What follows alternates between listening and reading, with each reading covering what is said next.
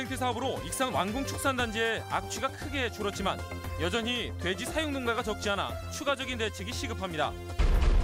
남원 실상산의 불상에서 고려시대 불경이 발견됐습니다. 만들어진 방식이 독특해 국보급의 가치가 있는 것으로 알려지고 있습니다. 25년째 주민들이 고통받아온 고창 석산 개발에 대해 경찰이 공무원과 업체 관계자를 불러 위법성 여부를 조사하고 있습니다. 여러분 안녕하십니까? 전북권 뉴스입니다. 시설을 현대화했더니 악취가 줄었습니다. 익산 왕궁 양돈단지 얘긴데요. 전체 돈사의 80%를 사들여 이렇게 시설을 개선했습니다. 남아있는 양돈 농가는 아직 100여 곳. 내년부터는 돈사 매입 예산마저 끊깁니다. 유룡 기자의 보도입니다. 익산 왕궁의 한 농장에 새끼 돼지들이 입식되고 있습니다. 골목골목에 들어선 돈사가 무려 500군데. 지금까지 1,400억 원의 예산이 투입돼 돈사를 매입했지만 매입률은 80%에 그쳐 여전히 돼지를 키우는 농장이 많습니다. 몇 두나 지금 키우고 계시나요? 천원 5, 600개 될 거예요. 몇 농가나 지금 남아 계신데요? 100군데 정도 되나요? 근데 좀 안될 건데요. 사정이 이렇다 보니 익산 왕궁에서 키우는 돼지는 아직도 7만여 마리. 과거 12만 마리에서 5만 마리가 줄었다지만 적은 수가 아닙니다. 익산 왕궁의 완벽한 변신을 위해서는 이들 자녀 축사 매입이 시급하지만 정부는 내년부터 관련 예산 지원을 중단할 방침입니다. 그것까지 우리가 다 매입을 해야 되느냐 국고를 들여서 이 부분에 대해서는 이 예산의 한정성이라든가 이런 것을 봤을 때 조금은 에, 검토를 더 해봐야 되지 않겠냐라고 생각합니다. 남아있는 농장이 자발적으로 법적 기준에 걸맞는 시설 개선에 나서는 것이 바람직하다는 입장입니다. 2019년 무허가 축산에 대한 규제를 앞두고 농장주들도 현대화된 돈사 신축을 검토하고 있지만 천억 원에 달하는 사업비가 부담입니다. 4km 내에 민가가 있으면 안 돼. 그 허가 대, 대상에서 제외가 돼 버리거든요. 그래서 뭐 셔망금도 좋고 또 여기다 이제 해주면 좋은데 분뇨로 가득 찼던 주교저수지 준설로 환경 개선에 물꼬는 텄지만 전면적인 사육 중단 없이 완벽한 이미지 변신은 여전히 한계가 있어 보입니다. MBC 뉴스 유룡입니다. 축산단지 악취 문제는 혁신도시에 인접한 김제 용지에서도 심각합니다. 시설 폐쇄나 이전이 해결 방안이지만 역시 관건은 예산입니다. 김하연 기자입니다. 명품 도시를 표방하며 아파트와 각종 정부기관들이 들어선 전주 혁신도시. 문제는 악취입니다. 어, 낮에도 중간중간 나긴 하는데 새벽녘에 가장 많이 나는 것 같아요. 너무 지독해서. 처음 전입을 왔다거나 뭐딴 데서 교육을 온 분들은 저녁 시간에 이게 무슨 냄새냐 막 이러시는 분들이 꽤 있죠. 악취 원인은 수킬로미터 거리에 있는 김제 용지 축산단지가 지목되고 있습니다. 밀집한 양돈 양계 농가와 축산 자원화 시설들은 혁신도시 지방행정연수원과 불과 3.4km, 아파트 밀집 지역과는 5, 6km 거리에 있습니다. 꾸준한 사업으로 익산 왕궁의 복합 악취는 2014년 22에서 5로 급감했지만 김제 용지는 왕궁보다도 더 악취가 심한 곳이 됐습니다. 전라북도와 김제시도 미생물 제재를 보급하고 악취 모니터링 등을 확대하고 있지만 근본적인 대책은 아닙니다. 실폐 축사를 매입했는데요. 지금 현재 악취 문제를 해결하려고 보면 그 현업 축사 매입이 필요합니다. 축산 시설이 전면 폐쇄되거나 이전하지 않는 한 악취를 근본적으로 막을 수 없는 상황. 농민들도 현실적인 지원이 이루어진다면 낡은 축사 환경을 개선해 현대화된 시설로 이주할 수 있다는 입장입니다. 그만두게 된다면 우리는 이제 그 생업을 포기할 수밖에 없는데 그 국가 정책으로 예를 들어서 그 현대화된 시설로 이주 대책을 한다던가 문제는 예산입니다. 새만금 수질 개선 사업의 일환으로 정부 매입과 보상이 가능했던 왕궁과 달리 용지는 법적 근거가 미약하다는 게 환경부 입장입니다. AI 사태로 양계 농가는 정부 차원의 현대화가 추진되고 있지만 양돈의 경우 뚜렷한 대책이 없습니다. 어, 저희가 지금 어, 농식품부를 좀 설득해서라도 어, 최첨단 현대화 축사를 갈 수 있는 부분을 좀 찾고 노력을 하고 있습니다. 혁신도시가 확장되는 상황에서 악취를 내뿜는 오래된 축산단지에 대한 근본적인 대책이 시급합니다. MBC 뉴스 김아연입니다. 김광수 의원은 오늘 국무총리 인사청문회에서 이낙연 후보자가 80년대 동아일보 기자 시절 당시 전두환 대통령의 미국 방문을 홍보하고 미화하는 기사를 작성했다고 폭로했습니다. 김광수 의원은 청문회 도중 자신에게 군대 갔다 왔냐, 낙선운동 하겠다는 등의 문자가 잇따랐다고 공개하며 유감을 표했습니다. 전주역 앞 마중길이 개통한 첫날 밤까지 인파로 붐볐습니다. 전주의 첫인상을 알리는 광장인데 아직 상징은 물론 보고 즐길 거리도 부족합니다. 이경희 기자입니다.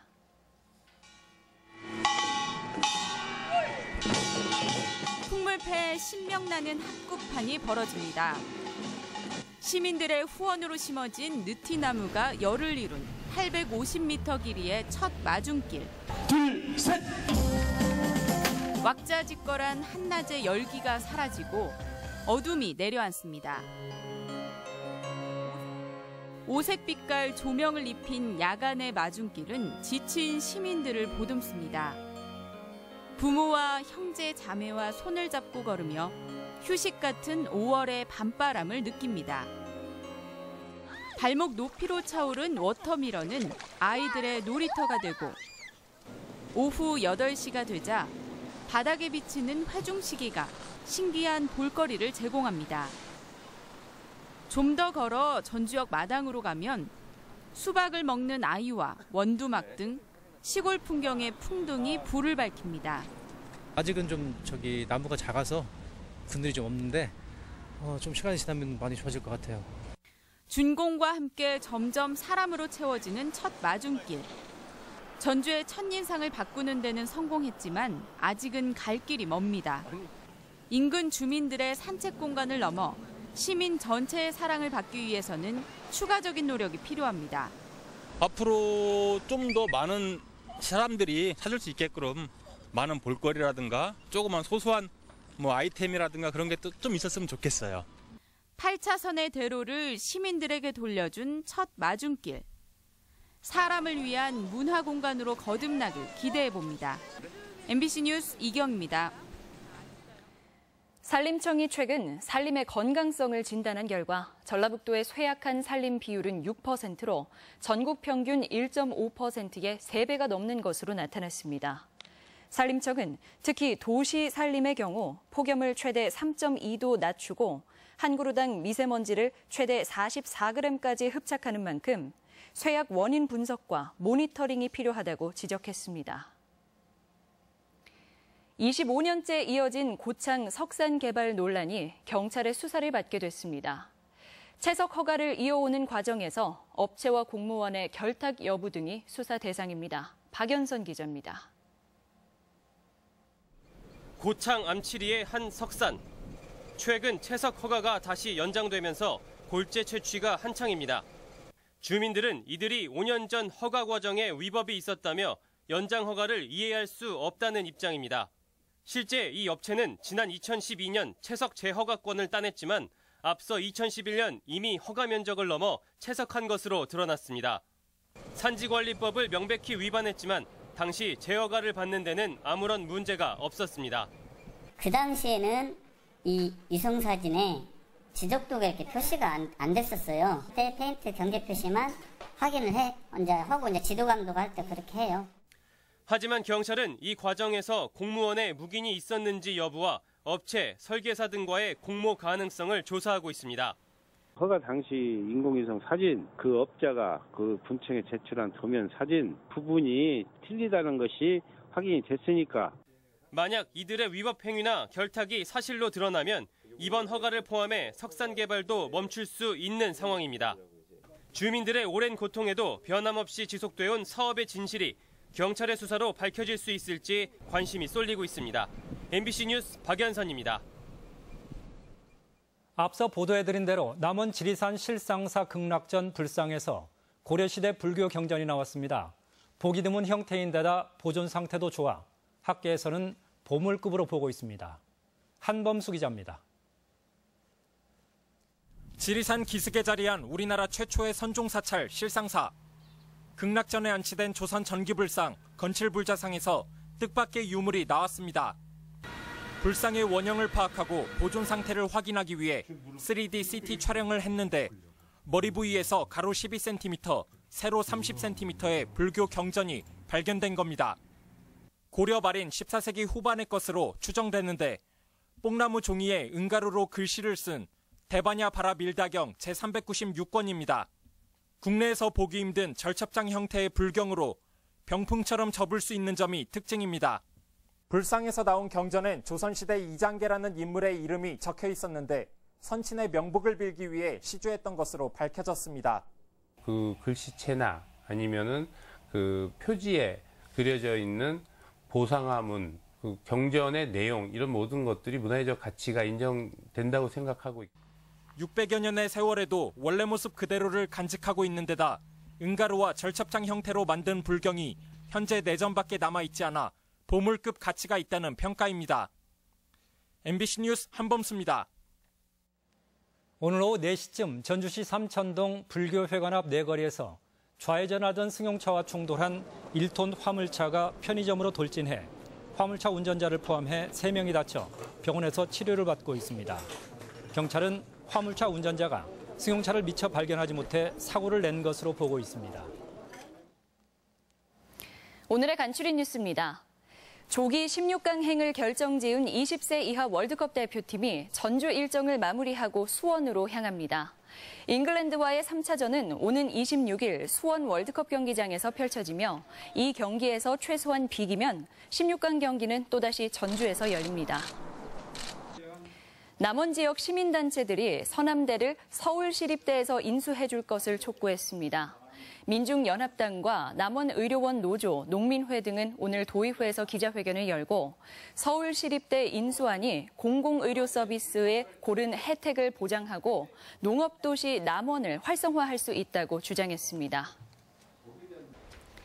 전라북도에 따르면 올해 도내 지역 업체의 수주율은 61.8%로 5년 전 53.9%와 비교하면 꾸준히 증가하는 추세입니다. 하지만 새만금 관련 대형 공사의 지역 업체 수주율이 10% 안팎에 그쳐 지역 경제 파급 효과를 높이려면 대규모 공사의 수주율을 높일 대책이 시급합니다.